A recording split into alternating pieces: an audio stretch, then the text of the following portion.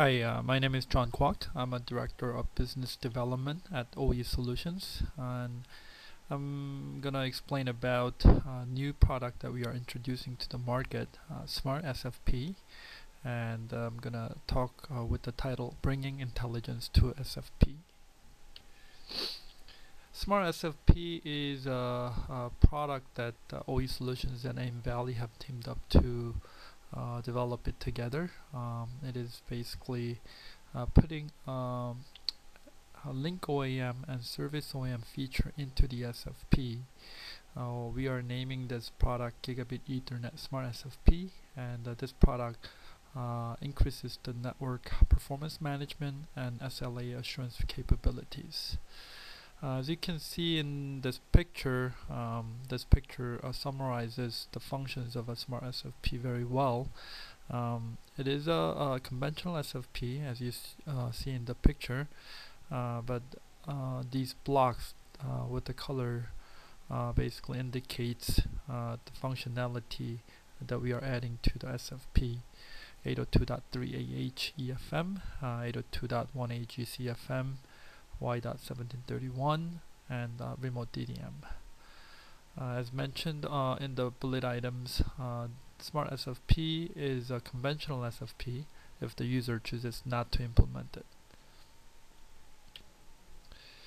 Some of the value offerings that Smart SFP uh, brings to the uh, customers it reduces the cost and installation of OAM features um, so reduces the uh, capex uh, expense and also remote troubleshooting is capable uh, so it reduces the maintenance cost. And uh, basically this uh, SFP is a zero footprint uh, for um, implementing OAM features. It significantly saves the rack space and by having all these and having lower power consumption it offers lower carbon footprint. Applications. Smart SFP can be used in many different applications. Uh, some of the examples are shown here. A mobile backhaul, telco wholesale, broadband access infrastructure and backhaul, and for business access, Ethernet. Uh, for people who are not familiar with OAM functions, I would like to give some background information. Uh, first of all, uh, Ethernet demarcation. Uh, Ethernet does not have a clear demarcation point, and uh, that actually makes an obstacle uh, to become a carrier grade. And by having Ethernet demarcation, uh, it provides separation between the carrier Ethernet WAN and enterprise LAN.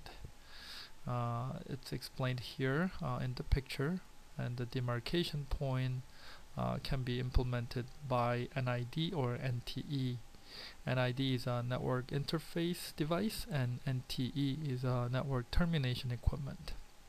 So by having this demarcation point, uh, you can have a carrier Ethernet visibility on carrier Ethernet network side and uh, customer network side and uh, this enables the testing and monitoring of both networks and then NID functions uh, can be uh, in standalone device mode or it can integrate it into the first mile transport device uh, or uh, in the CPE equipment. So what is Ethernet OAM? Um, it benchmarks existing WAN technologies and Ethernet OAM feature is a key differentiator to make the network carrier Ethernet grade. Uh, two versions that we are introducing uh, in March 2012.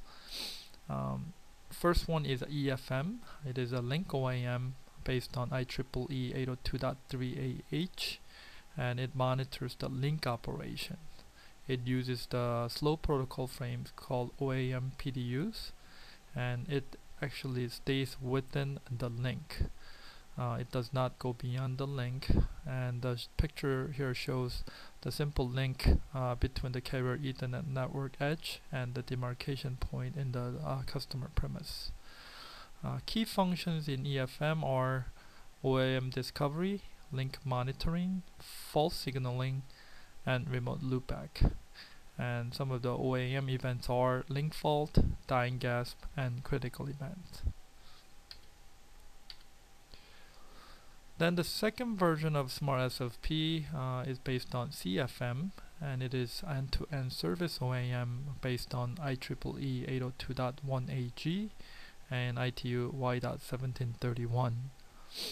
Uh, as you see here, uh, there are two customer premises at the end of the services and between these end-to-end -end connectivity uh, with the OAM uh, end-to-end -end service OAM you can detect, verify, isolate and report uh, connectivity faults and uh, this one is implemented in regular Ethernet frames in band and the key mechanisms are shown in this picture. And the protocols implemented in our SFPs are continuity check and loopback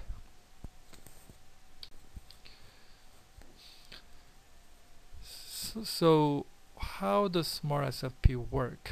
Um, basically our smart SFP takes a role as an NID uh, the picture shown here uh, is a typical uh, setup for demarcation box. So there is a connection between uh, metro core node and the demarcation device and then the connection is between demarcation device and the customer edge equipment. So by having our smart SFP you can replace the demarcation device in the middle and smart SFP itself works as a demarcation device and it can plug right into the customer uh, edge equipment and um, it integrates uh, OE conversion which is a, a typical uh, functionality of SFP uh, but we do have a protocol function on top of uh, uh, OE conversion in a single SFP. Because of this, um, our Smart SFP can be offered in many different flavors. Uh, basically, it can be offered in all our Gigabit Ethernet products, uh, namely 500 reach from 500 meter all the way up to 80 kilometer. It can be uh, provided in both single fiber version as well as the dual fiber version and um, uh, it can be also uh, implemented in both gray optics or CWDM optics.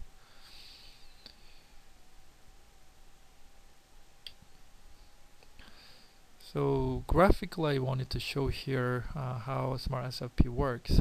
So for EFM uh, link OAM case, um, Smart SFP, uh, once it gets plugged in, it can uh, OAM can be discovered automatically and it does uh, monitor link and also once you lose the power uh, on the customer equipment side you actually uh, get the signal back into the network uh, which is called dying gasp.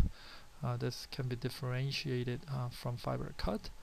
It is indeed power of failure in the equipment side.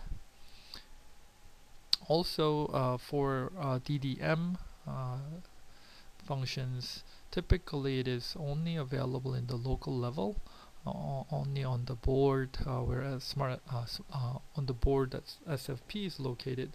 But in this smart SFP you can actually access the DDM information from remote side. So it is a with the remote DDM functionality um, so carrier Ethernet network side can pull the information uh, from the smart SFP and all the information in DDM A0H and A2H uh, can be uh, accessed uh, from the remote location. Um, this picture shows end-to-end -end service OAM. Um, basically, uh, it does uh, sends out the continuity check signals, CCM signals uh, to each other. Uh, it can be set uh, in desirable interval and uh, it basically checks the heartbeat uh, of the connections.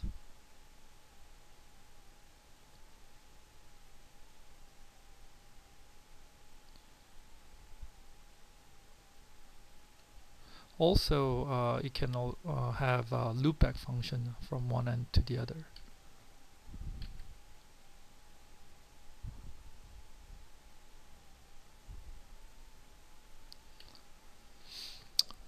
Then I would like to compare uh, our Smart SFP uh, to some of the competing technologies in the market.